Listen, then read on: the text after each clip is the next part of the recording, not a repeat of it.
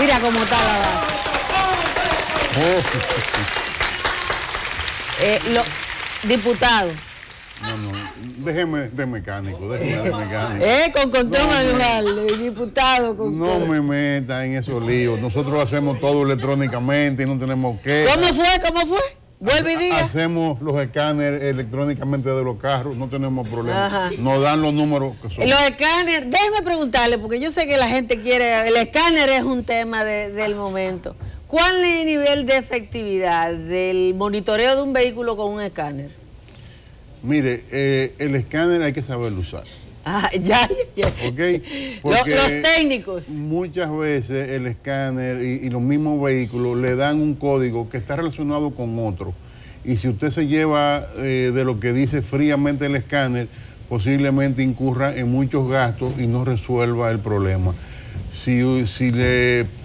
un ejemplo frío, eh, de, los- de los códigos más comunes que salen con los escáneres, eficiencia muy baja del catalizador. Dice, ok, ¿qué hay que hacer? ¿Cambiar el catalizador? No, vamos a cambiar los sensores.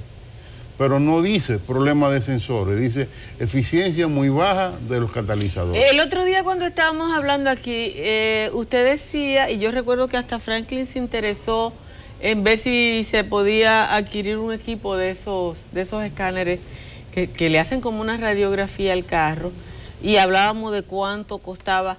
Eh, con, con el contenido que usted está diciendo, eso significa que el escáner tiene que ser usado por una persona que tenga conocimiento. Ok, vamos, vamos a dividir eso en dos.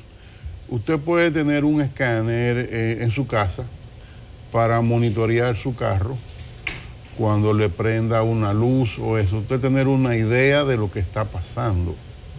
Pero ya para un trabajo profesional necesita otro tipo de escáner, mucho con programas mucho más completos para poder hacer cosas diferentes que la que un simple monitoreo. Entonces ahí va a haber, eh, va a ser la diferencia. Para hacer un, un simple chequeo, con simplemente saber leer es suficiente.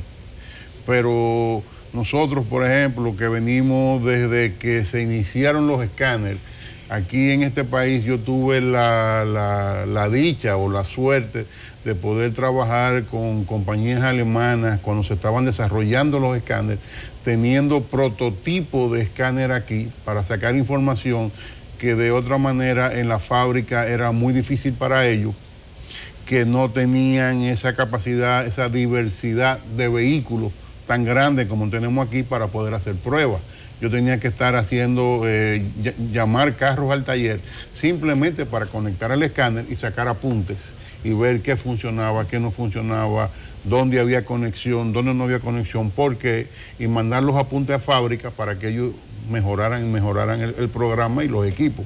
Entonces, cuando yo estoy, en el caso mío personal, que estoy, tengo ya más de 20 años trabajando con escáner, con diferentes marcas, con diferentes tipos, ya uno sabe por experiencia, por el carro, si el escáner está o no está, si es un código duro, si es un código, yo le llamo código duro aquel código que usted lo borra y vuelve y sale de una vez. O sea que hay un- una falla dura Y que está directamente relacionada a la lectura. y está directamente relacionada a la lectura, claro. Y hay otros códigos que prenden por porque otro código prendió y ese se fue ahí también, porque estaba en el mismo circuito.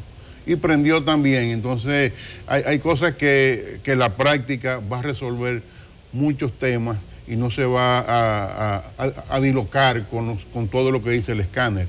Algo también muy común, eh, prende el traction control. El traction control va a prender si hay cualquier problema en el ABS.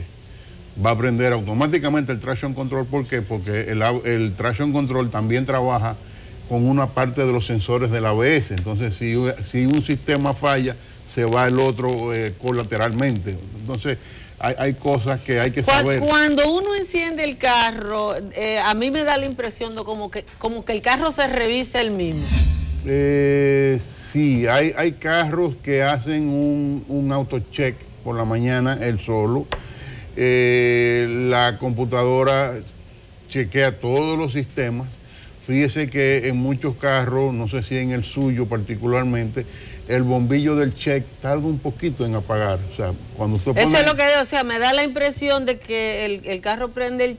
E, es, es, una fracción de segundo, pero no, no, no, es directa. No, o sea, eh, fíjese, es como, como un gerente de una oficina que llega a su oficina y dice, vino el contable, vino el que limpia, vino el que hace el café, vino el que vende, vino el que cobra, ok, estamos todos, podemos trabajar. Ya saben lo que quieran hacerle una pregunta a su mecánico de cabecera, puede llamar al 809-683-8785, 683-8786, 8795 y 8796 para cualquier pregunta. Hoy para variar y para estar a tono, estamos hablando de los escáneres, que se usan para diagnosticar. Y hoy, caramba, no traje uno para mostrar. Pero los muchachos le, pusieron uno ahí para que usted vea qué, efectivo Mire, y si, si seguimos hablando en ese mismo tono, ya ahí tenemos carros que tienen varias computadoras, hasta cinco o seis computadoras diferentes, y luego tienen una computadora central que maneja todas las informaciones y las centraliza. Y sobre todo, esa computadora es la computadora de inicio, donde maneja eh, esencialmente, o sea, después que reúne toda la información, maneja la seguridad, que va a manejar eh, la alarma, los problemas de, seguridad. Si en un momento eh, hay una falla en, en la transmisión, pues le va a decir al motor, bájame la velocidad, bájame la fuerza yo te voy a dejar que todavía funcione para que llegues a la casa, pero vete al pasito para que no me dañe la transmisión. ¿Y puede, eh, tan autónomo puede ser un vehículo? Lo hace, lo hace y esas son de las cosas cuando un vehículo llega al taller y dice no tiene potencia, entonces hay que chequear si es algo eh, efectivamente del motor o es un periférico que está en programa de emergencia en el motor y no lo deja que tenga la potencia. Vamos a tener una llamada. Buenos días, su llamada al señor Con. ¿Se cayó? bueno, vamos a... ahí está. Buen día, adelante. Yo tengo un Corolla 2001 y siempre, siempre me está haciendo explosión y yo lo llevaba a escanear. Entonces, eh, me dicen que tiene que los sensores están buenos, pero siempre me está haciendo explosión. Digo, lo tengo en GLP. Perdón, ¿usted tiene GLP? Sí, lo tiene en GLP. Seguramente él tiene un sistema convencional que no está regulado electrónicamente, tiene lo que llaman un sistema por inducción, por succión de vacío del motor, donde cuando ese sistema está funcionando, anula todos los sensores del carro, están fuera de función, lo tienen de más en ese momento y está trabajando por obra y gracia. Eso se corrige con un sistema eh, con mando computarizado, no va a tener más explosión, va a Pero es el sistema de gas, cambiar el, sistema de gas. Sí, ponerle eh, regulación electrónica. Dice Víctor por aquí, por la cuenta de Twitter, que una luz amarilla parecida a un recipiente de combustible, ¿qué significa? Que le eche combustible. No, pero eso es, eso es como muy... Ese no se resuelve con escáneres. Eh, pero eso es muy obvio. a la estación de combustible. No, pero eso es muy obvio porque... Y si a pesar de echarle combustible le mantiene la luz, entonces hay un problema en el indicador del tanque, en la flota, como dice la gente, hay un problema que hay que resolverlo. El carro mío a veces le pasa que yo le echo combustible y cuando el tanque ya me ha pasado veces cuando el tanque llega a la mitad, cuando yo lo enciendo en la mañana, marca como si no tuviera nada, después se compone. Pero yo sé que tiene medio tanque porque sé más o menos lo que me dura, pero se queda y después que se... Eh, se está pegando la flota. Se pega la flota hasta de un tanque de... Se puede pegar eh, por, por eh, ese, esa, esa agua perdón, esa contaminación por, por evaporación, por evaporación, no por condensación, perdón, que hay en los tanques y, en cualquier sitio, entonces se oxida un poco los contactos y no hace bien ¿Y qué se recomienda? O se gastan los contactos y hay que cambiarlo. Cuando le moleste mucho, eh, dígale a su mecánico que la saque a ver en qué condiciones está, si se puede limpiar o tiene que cambiarla por una nueva. Tenemos una llamada. Buenos días, adelante. Buen día, sí. Mi pregunta es eh, un poco divorciada del tema de los escáneres, pero eh, me gustaría saber, Roberto, eh, esos modelos de la Toyota Prado que van de alrededor del 2010 por ahí, ¿qué 2010, 2012, creo que hasta el 2013 me parece? ¿Qué tan, ¿Qué tan diferente o qué tan parecido es el motor que trae la Toyota Prado nueva? que comienza como en el 2014. Y la segunda pregunta es, ¿qué es lo que hay que hacerle a estos vehículos que son diésel, que pasan de los 100 mil, 150 mil kilómetros? Que la gente entiende que cuando un vehículo pasa de, los de, los 100, 150 mil kilómetros y es diésel, no es recomendable comprarlo. Le escucho en el aire. Ok, muy buena pregunta. Primero, eh, vamos a dividir en dos. La Prado en el 2010, 12 empezó a, llegar al país, cosa que existía en muchos sitios, por aquí no venía, solamente venía la diésel, empezó a venir de gasolina, eh, hasta con el 8 cilindros, con un 6 cilindros y 4 cilindros en gasolina. Ese, eso fue una variación de motorización que, que sufrió la Prado en el mercado nacional, porque en otro mercado ya existía. Eh, en cuanto a la Prado con el diésel, eh, un motor de Prado diésel anda más o menos promedio. Eh, hay muchos que dan mucho más, hay muchos que dan mucho menos, pero la vida útil del motor es más o menos 200 mil kilómetros. sufre un desgaste en las camisas y pistones y anillas. Eso es normal, todo el mundo lo conoce de ese tema con la Prado. Un vehículo que tiene un desgaste que así a los 200 mil kilómetros, ¿qué hay que hacer? ¿Cambiarlo? Reparar el motor. Reparar el motor. ¿Cuánto puede ser el costo de reparación? Lo, quiero hacer un ejercicio, ¿no? ¿Cuánto puede ser la reparación de un motor Mire, para un vehículo? Hoy justamente tengo que trabajar en una Prado que pasó por el taller ayer y el señor quiere un presupuesto de, de motor. Tengo desde el año pasado que no reparo ninguna Prado eh, hoy me voy a dedicar a hacer ese, presupuesto. Si usted quiere, el, miércoles que viene le doy con, detalles exactos. Eh, cuánto, cuánto andaría una reparación de un motor Prado. Tenemos una llamada, adelante.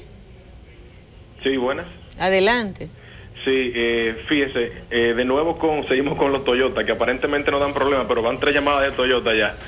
Eh, yo tengo una Toyota 4Runner del 2007, es un vehículo que nunca me ha dado problemas.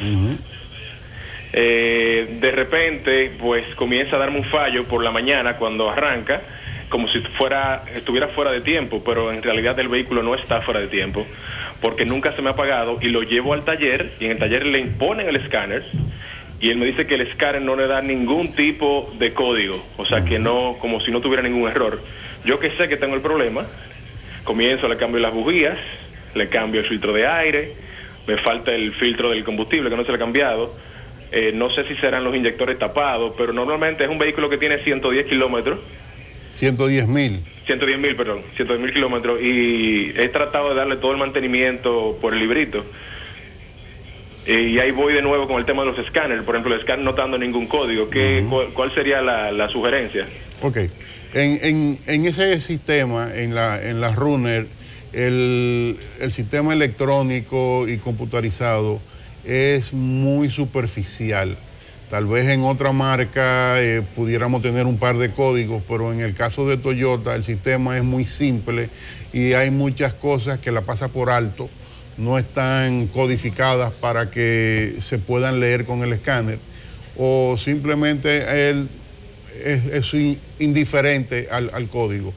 Yo le diría, en, el caso de su habría que verla un poquito visualmente, pero yo diría, eh, está el problema, el sistema de compensación cuando está frío no está funcionando muy bien, o simplemente el sistema de compensación de la marcha baja no está funcionando bien. Ahí podría estar envuelto eh, inyectores, limpiar inyectores, hay que ver el, tema del throttle, hay que ver el medidor de flujo o sea, básicamente ahí. Y sí, eh, con el escáner usted puede medir las lecturas de los sensores de oxígeno, que no van a decir que tiene problemas, pero va a leer la, lectura y con la lectura nos podemos dar cuenta si hay un problema en la mezcla. Por eso le digo que los escáneres hay que saberlo usar, porque él dice muchas cosas que la mayoría de personas no saben lo que está diciendo, simplemente cuando tiene que leer un código, pero podemos también leer eh, la resistencia de los inyectores, podemos leer la eficiencia que está teniendo el combustible por medio de los sensores de oxígeno. O sea, hay, hay muchas cosas que se pueden leer que son secundarias, informaciones secundarias, que sí pueden dar eh, una pista de dónde puede estar el fallo del vehículo. Bueno, pues muchísimas gracias Roberto Con, nos queda pendiente eh, de tarea para la semana que viene, que nos diga cuánto cuesta el mantenimiento. Y recordarle a nuestros televidentes que estamos en Injector Clinic, en la avenida San Martín 300, con nuestro teléfono 809-565-1010, donde estamos para servirle. Y ahora tenemos una amplia gama de limpiavidrios Bosch para todos los vehículos que andan por la calle.